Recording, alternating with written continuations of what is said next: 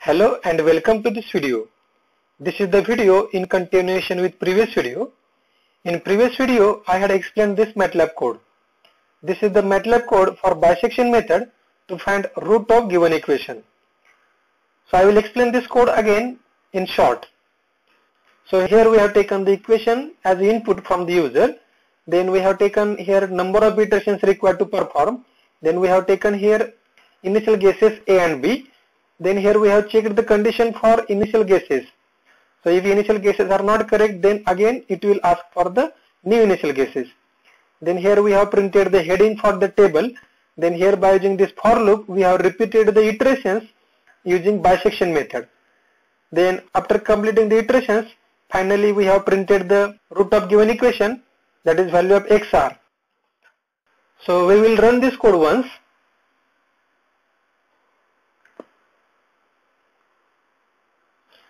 So let us consider an equation x minus cos of x.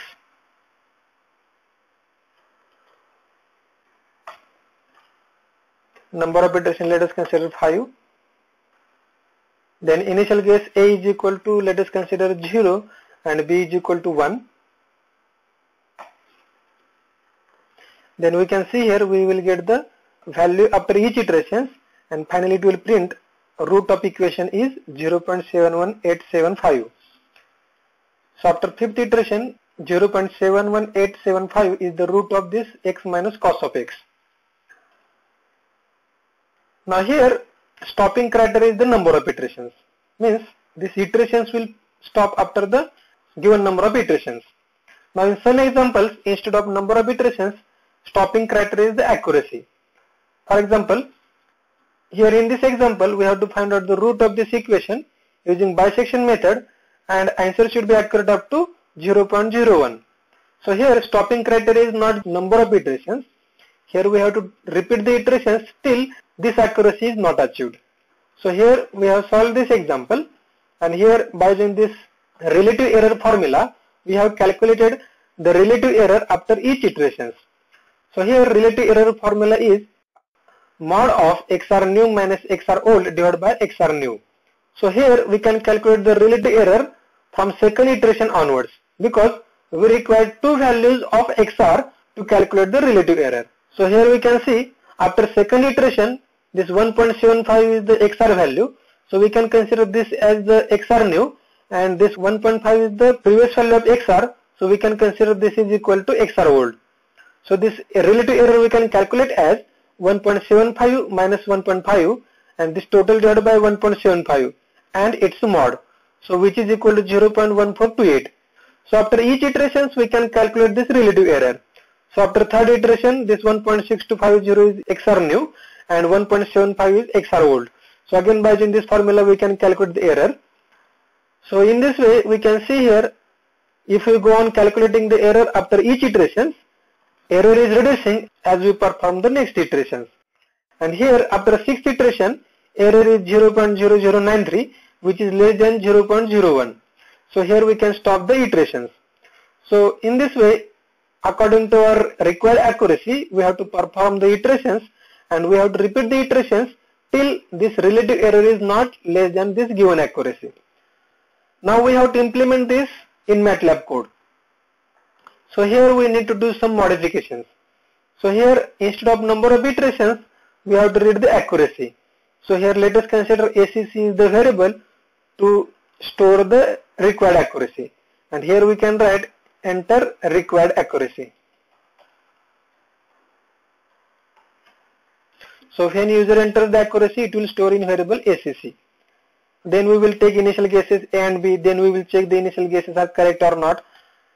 Now here we can see we can calculate the relative error after second iteration. So before checking the condition we need to calculate first iteration. So here we can directly use this bisection method formula to calculate the first iteration. And here instead of for loop we will use here while loop to check the condition. So here condition we have to check is we have to check the error. So we have to repeat the iteration till this error is not less than this given accuracy. So here we will calculate that error and we will check with accuracy. So here we have to calculate the mod value. So to calculate absolute value here function is ABS. So in this ABS we can calculate the error. So here we can write XR new. So here instead of XR new we will use XR variable because latest value of XR will be stored in XR variable. So XR means XR new minus XR old and this total divided by XR new means XR value and this error should be less than given accuracy and if this error is greater than given accuracy then we have to repeat the iteration. So here we will check whether this error is greater than accuracy or not and if this error is greater greater than accuracy then we have to repeat the iterations. Now here we have not calculated the value of XR old. So here we have chosen two initial guesses A and B before starting the iterations. So out of these two values we can consider one of the value as first answer or previous answer. So we will consider XR old is equal to A or we can consider XR old is equal to B. Now here to measure the iterations in for loop I variable was used but here in while loop we have to define this variable separately. So here let us define i is equal to 1 and after each iterations it will increase the value by 1. So here this is the first iteration so i is equal to 1 and after first iteration we have to check the error is greater than accuracy or not and if it is greater then we have to do the iterations. Now here we have calculated the value of first iteration and after calculating value of first iteration before going for second iteration we have to replace either A or B. So by using if else statement we can replace either A or B and after replacing this we have to calculate the value of second iteration. So again here we can use this bisection method formula to calculate the value of second iteration. Now here as this is second iteration we have to increase the value of i by 1 because this i variable will measure the number of iterations and again it will go for this while loop it will check whether this error is greater than accuracy or not. So here before calculating value of second iteration we have to replace xr old by xr means here we have calculated the value of xr in first iteration. So before calculating value of second iteration this first iteration value we have to assign to xr old. So here we can write xr old is equal to xr. xr old. Now we will run this code. So go to this editor and run. So click on this command window. So here we have to enter the equation. So let us consider this same equation e raised to x minus 2x minus 2. So e raised to x means exp of x minus 2 into x minus 2. So this is f of x. Let us consider required accuracy 0.01. Initial guess a is equal to 1 and b is equal to 2. So here we will get the answer after 6th iteration. So number of iterations performed are 6. But here first iteration value is not printed. Also here we have to print the error column. Similar to this table we have to print this error column. So here to print this first iteration value we have to use this fprintf statement. So here I will copy and paste this fprintf statement so that it will print the value of first iteration. Now here in front of this xr value we have to print error value.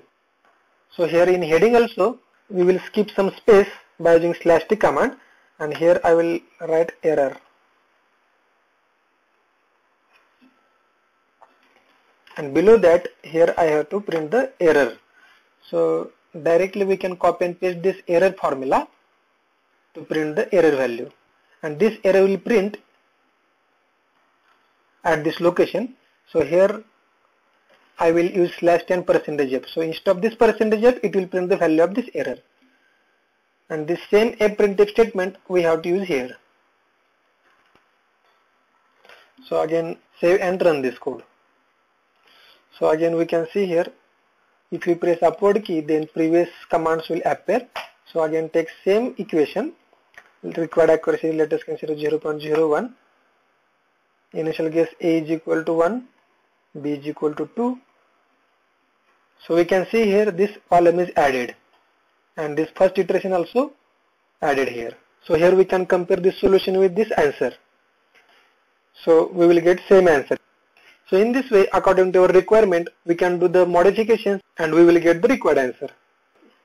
Thank you for watching.